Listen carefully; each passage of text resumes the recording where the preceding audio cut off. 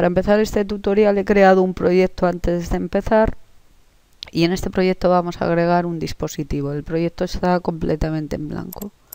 Entonces le digo dispositivo, selecciono y en este caso le voy a decir sin especificar porque lo que voy a hacer es que me voy a conectar online con el autómata y eh, lo voy a lo voy a detectar vale evidentemente para poder hacer esto tengo que tener la misma dirección em, bueno la misma dirección no el mismo rango eh, de direcciones entre el autómata y el ordenador.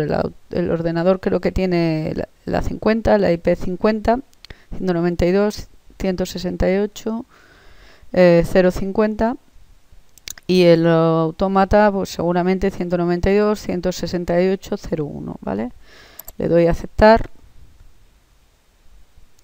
y aquí ya tenemos el autómata vale le digo determinar. Y bueno por defecto me coge eh, la tarjeta de red que he estado conectándome que es una tarjeta de red local y ha detectado que en efecto tenía tenía la, la 1 vale le, digo detección, tarda un poquito en hacerlo, esta parte porque está comprobando todas las características del autómata para transferirlas al ordenador, entonces se lleva, se lo piensa ahí. Pero ahí tengo el autómata, está completo, ¿eh? Completo significa que incluso como ha detectado que tengo la signal board, eh, pues la reconoce completamente. ¿vale? Eh, en cuanto a la CPU, asigna la dirección que tuviera el autómata. Ya acabamos de ver la dirección del interface que tenía era la 1. Vale, perfecto. Mm, vale, como ya lo hemos detectado, vamos a guardarlo, el proyecto. Y este proyecto servirá de base para cuando hagáis futuros eh, programas así no tendréis que detectarlo todas las veces. Para terminar vamos a intentar eh, configurar las marcas de sistema y las marcas de ciclo. Vale, nos ponemos en el autómata y nos aparece como veis eh, un menú de las características del autómata. Nosotros vamos a marcas de sistema y de ciclo. El por defecto tiene la marca 1, el byte 1 de marcas para sistema y el byte 0 para marcas de ciclo. Nosotros los vamos a cambiar. A este le vamos a asignar la 300. Damos intro. Como veis han cambiado valores. Eh, tenemos la 300 primer ciclo, la 301 es para diagnosticar un cambio de, estado, ¿vale? De diagnóstico, eh, siempre a 1 y siempre falso. La 02, la M302 siempre a 1, la M303 siempre 0 o siempre bajo y esta es diagnóstico modificado, que es eso, en los cambios eh, diagnostica cuando ha cambiado el autómata. Ahora vamos a activar los pulsos que tienen diferente frecuencia. Vamos a poner por ejemplo la 400. Como veis, mm, ahora no aparece, pero bueno, aparecía que tenía 8191 marcas se, se pueden configurar, ¿vale? Le ponemos la 400 y le damos intro.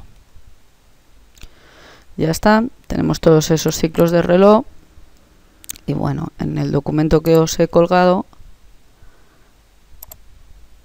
ahí están las diferentes frecuencias y en segundos a lo que equivale desde 0,1 segundo a 2 segundos que equivale a 10 hercios hasta 0,5 hercios. Nosotros vamos a utilizar el 5, que en nuestro caso será el M405, ¿vale? Que equivale a un segundo. Bueno, ¿qué vamos a hacer? Bueno, vamos a hacer un pequeño programa donde utilicemos estos bits y donde tengamos una salida que parpadea vale eh, acostumbraros siempre a hacerlo en un FC vale decimos aceptar no le vamos a poner ningún nombre en en concreto que él lo llame como quiera lo ha llamado bloque 1 nos ponemos en el OV1 arrastramos el, el bloque el FC1 y hacemos la llamada. Para que corra el programa del, que tengamos metido en el FC1 debe estar hecha la llamada en el OV1. Ya la hemos hecho y ahora programamos. Bueno, pues simplemente vamos a programar así. Vale, este le vamos a llamar por ejemplo la I00 y aquí le vamos a decir que sea una de las marcas de, de, ciclo. La de un segundo, que es la de un hercio, ¿vale? Es la M05, la M405, 400.5, esa es la de un segundo y que activemos una salida. Pues puede ser la Q00. Bueno, eh, ahora vamos a ver cómo podemos utilizar los, los otros. Entonces le vamos a decir aquí un paralelo y una marca y le vamos a decir siempre on para que veamos que está siempre activa. Le damos a esta pestaña y aparecen todas. Always true, siempre activa. Y le ponemos otra salida diferente. La Q01. Y ahora vamos a poner la marca de Fair Scan de primer ciclo. Esto en el 300 se tenía que hacer con, el OV100, el OV de arranque, que también lo tenemos en, en este autómata y lo veremos más adelante. Lo que queremos que, se haga en el primer ciclo de scan. Pero aparte de tenerlo en el OV, de poderlo hacer en el OV100, este bit nos permite que cuando el autómata pase de stop a run, se active.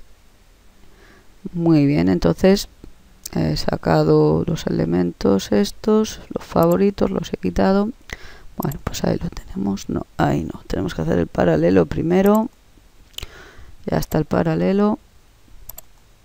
Y le vamos a decir que con la marca de Ferescan, la buscamos, es esta, la M300, pues nos active otra salida.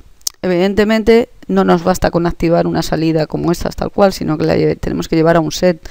¿Por qué? Porque como es un, impulso en un instante, cuando hace el, primer ciclo de scan, pues no le da tiempo a, activarla si no la llevamos a un set y a un reset. Es un flanco.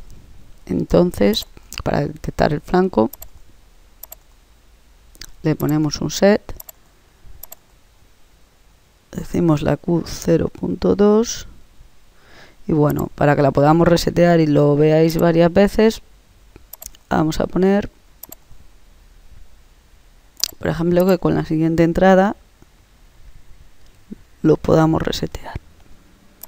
Y así veremos cómo pasando de, esta, de stop a run podremos hacerlo. Bueno, no os he dicho porque se ha hecho otro vídeo donde se dice, pero bueno, aquí podéis seleccionar cualquiera de las instrucciones que queráis. En este caso quiero un reset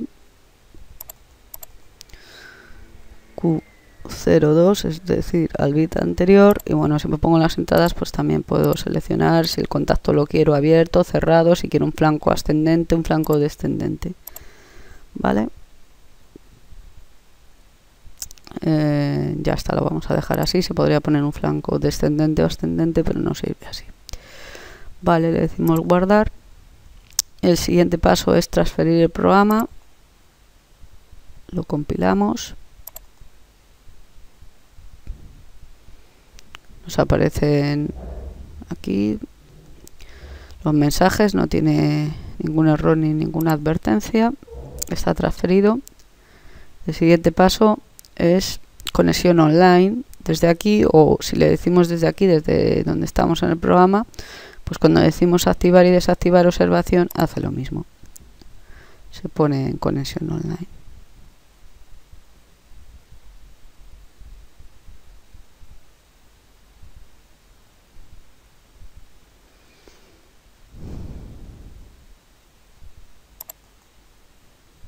y está encontrando errores.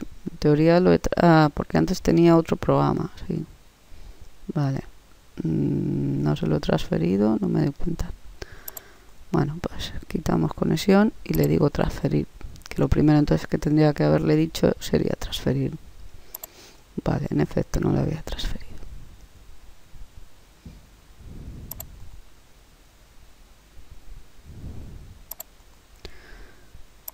Volvemos a darle a los ojitos para la observación y para la conexión online.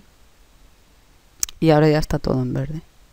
Significa que hay el mismo programa en el automata y el mismo programa en el, en el ordenador vale pero ¿por qué aparece todo en gris incluida esta línea porque está en modo stop el automata entonces lo voy a poner yo lo puse a conciencia en modo stop para que apareciera así. Pero si estuviera en modo run, pues no. ¿Por qué he querido hacer eso? Habéis visto que han mandado aquí un, un impulso y me ha activado la salida Q02. La voy a, le voy a dar a la Q01 para que lo volváis a ver. Bueno, ya está reseteada, ¿vale? Lo pongo en stop vale. Bajo esto un poco a ver si se puede ver.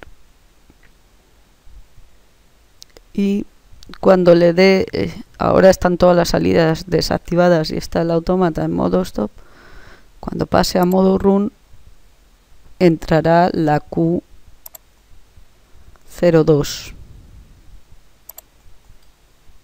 ahí la tenemos ha sido un impulso muy breve ¿vale? Ese es Ferscan. Ya la tengo activada, la reseteo con la i01, ¿vale? La he reseteado y ahora vamos a ver cómo funciona esta parte. Bueno, el siempre, el siempre activo, pues evidentemente está en verde y está siempre activo. Como veis, en el momento que yo le dé una entrada a Q0 a I00, activaré la Q01.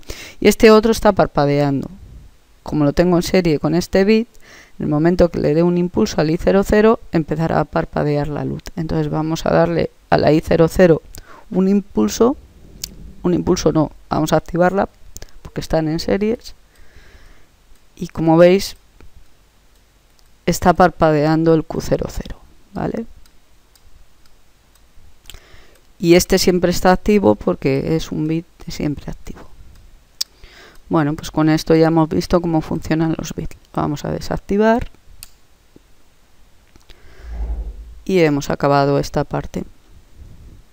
Eh, cuando le decimos, vamos a, antes de acabarlo, vamos a decirle desactivar observación. Y nos hace una pregunta. De, dice, ¿desea deshacer la conexión online? Si le digo que no, significa que siguen conectados el automata y el programa. Le voy a decir que sí y esto desaparece lo verde, ¿vale? Guardamos el proyecto y damos por terminado esta, esta parte.